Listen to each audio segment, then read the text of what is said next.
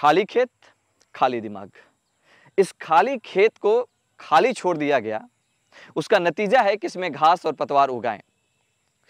ठीक इसी प्रकार, जब किसी दिमाग को खाली छोड़ दिया जाता है, उस दिमाग में कोई एजुकेशन डिपॉजिट नहीं किया जाता है, कोई नॉलेज डिपॉजिट नहीं किया जाता है तो उस दिमाग में भी, इंसानी दिमाग में घास पतवार उगाते हैं और वो किसी काम के नहीं होते हैं। जिस तरीके से इस खेत को खाली छोड़ने के बाद सिर्फ़ घास पतवार उगे, जो कि किसी काम के नहीं है, किसी काम में नहीं आने वाले हैं, इससे कोई लाभ नहीं होने वाला है। ठीक उसी तरीके से अगर किसी दिमाग को खाली छोड़ दिया जाए और उसमें कोई नॉलेज नहीं डिपॉजिट किया जाए तो वह भी वह भी दिमाग किसी के काम नहीं आता है। और जब वो किसी के काम नहीं आता है तो फिर उसका कोई लाभ भी आपको मिलने वाला नहीं है। ठीक इसके विपरीत, एक और खेत जिसको खाली नहीं छोड़ा गया इसमें बीज डाले गए, इसकी जुताई की गई, इसमें फ़सल लगाया गया और फ़सल लगाने के बाद इसकी देखरेख की गई। समय पे इसको पानी दिया गया, समय पे फर्टिलाइज़र दिया गया और आज उसका नतीजा है कि इसमें उगने वाले जो फ़सल हैं, जो फल हैं, वो काम आने वाले हैं। या फिर इसको बेच करके या इसको कहीं यूज़ करके इसका लाभ कमाया जा सकता है।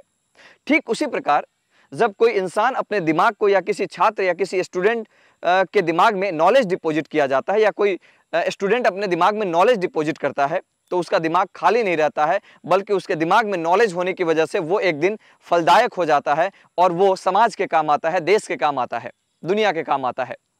इसीलिए कभी भी अपने दिमाग को खाली ना छोड़े। अगर आप अपने दिमाग को खाली छोड़ रहे हैं, अगर आप अपने दिमाग में कुछ चीज़ें डिपॉजिट नहीं कर रहे हैं, कोई नॉलेज आप नहीं गेन कर रहे हैं, कुछ नई चीज़ें नहीं सीख रहे हैं तो यह दिमाग भी आपको उस खाली खेत की तरह हो जाएगा जिसमें घास और पतवार उगे थे, उसी तरीके से आपके भी दिमाग में घास और पतवार उगाएँगे और उसकी कोई कीमत नहीं लगेगी। उसका कोई उपयोग नहीं होगा और फिर आप खाली हाथ जीवन भर बैठे रह जाएँगे और आपको जो सफलता चाहिए वो हासिल नहीं हो पाएगी। ठीक उसके विपरीत जैसा कि मैंने बताया कि जिस तरीके से इस खेत में फ़सल लगाया गया, उसी तरीके से इस फ़सल को लगाने के बाद इसके पीछे मेहनत की गई, इसके पीछे पसीना बहाया गया, इसकी देख रेख की गई, इसमें समय पे पानी, समय पे खाद, ये सारी चीज़ें दी गई और उसी का नतीजा है कि आज इसमें फ़सल आ रहे हैं और इस फल से, इस फ़सल से कल लाभ होगा किसान को। उसी प्रकार अगर आप भी अपने दिमाग में नॉलेज को डिपॉजिट करेंगे, संघर्ष करेंगे, पढ़ाई करेंगे, सीखेंगे, नई चीज़ों को अपग्रेड करेंगे अगर अपने अपने अंदर तो फिर निश्चित तौर पे भी आपका भी दिमाग समाज के काम आएगा, आपके काम आएगा, परिवार के काम आएगा, देश के काम आएगा, दुनिया के काम आएगा।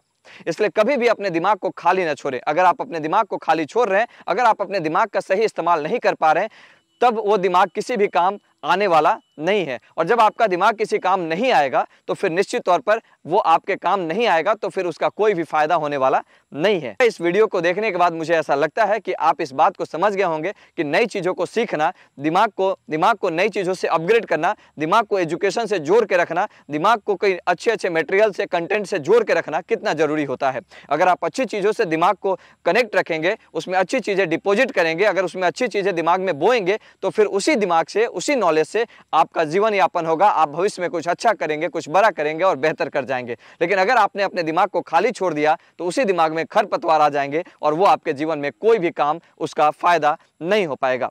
तो चलिए मुझे लगता है कि यह वीडियो आपको अच्छा लगा होगा और अगर आपको यह वीडियो अच्छा लगा है तो इसको लाइक करें, शेयर करें और साथ ही साथ हमारी वेबसाइट www.सफलबनो.com को ज़रूर विज़िट करें और वहाँ पे अगर आप अपना लक्ष्य हमें बताते हैं तो निश्चित तौर पर हम आपके लक्ष्य तक पहुँचाने में आपकी पूरी मदद करते हैं और कभी भी आपको लाइफ में दिग्भ्रमित नहीं होने देंगे, ये मेरा वादा है। आप सभी का फिर से सफल पर स्वागत है। मैं राकेश शांडिल, आप सभी से विदा लेता हूँ। धन्यवाद।